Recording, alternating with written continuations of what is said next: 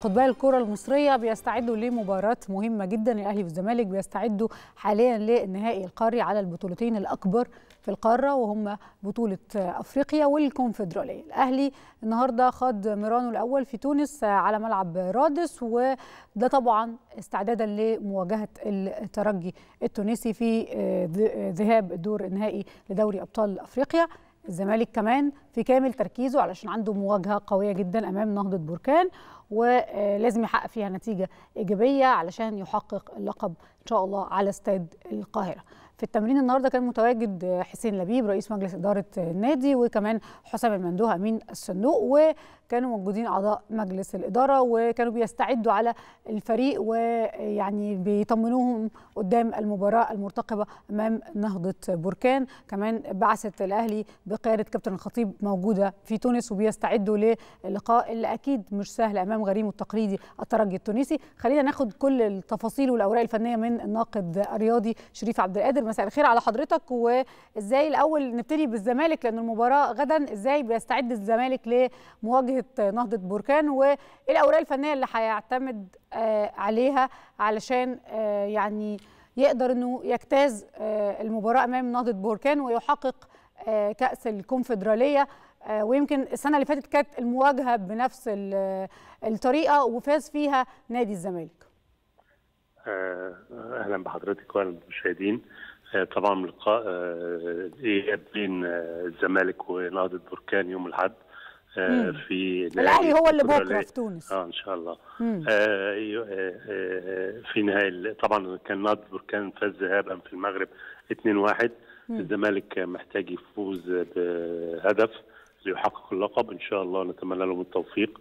طبعا في استعدادات قوية بقيادة جوزيه جوميز البرتغالي للقاء. النهارده أعلنت القائمه المبدئية اللي هتخش المعسكر المغلق لاستعداد لمباراة الأحد.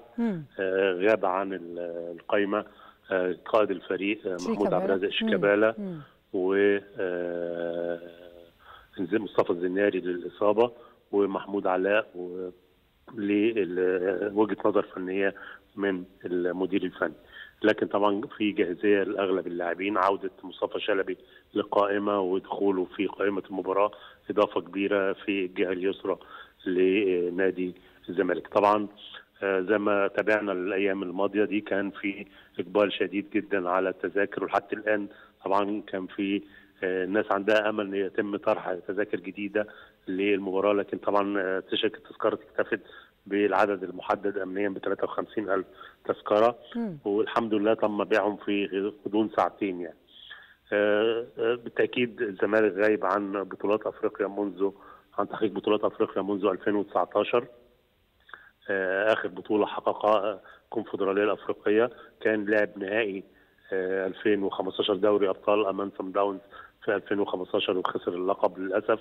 وكان قبل كده وصل لحقق اللقب في 2002 أمام رجاء المغربي آخر لقب دوري أبطال حقا حقق عنده فرصة تاريخية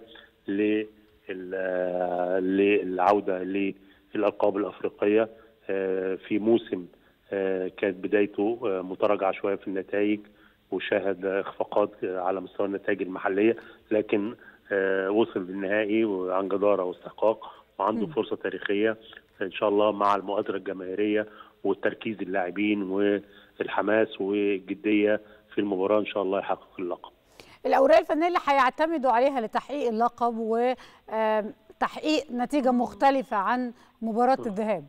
إن شاء الله طبعا يعني في البداية هيبقى فتوح أحمد سيد زيزو م. أحمد حمدي آآ آآ جزيري مصطفى شلبي دي العناصر المؤثرة جدا في أو اللي ليها بصمة حقيقية في تشكيلة نادي الزمالك واكيد لها دور كبير جدا في تحقيق الفوز واللقب إن شاء الله لأن دي العناصر اللي بيعتمد عليها جوزيه جوميز في نقل الهجمة بسرعة تحقيق كثافة هجومية الانتشار السريع القوة الهجومية في وصول إلى مرمى المنافس.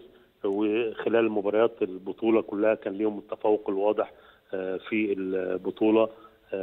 عن طريق الخماسي ده. معهم طبعا عمر جابر. معهم مسلوسي في الدفاع كعنصر مهم جدا في دفاع الفريق. دونجا في وسط الملعب. كل دي عناصر مؤثرة بشكل كبير جدا في طريقة لعب واستحواذ اللي بيعتمد عليها جوزيه جوميز في أغلب مبارياته.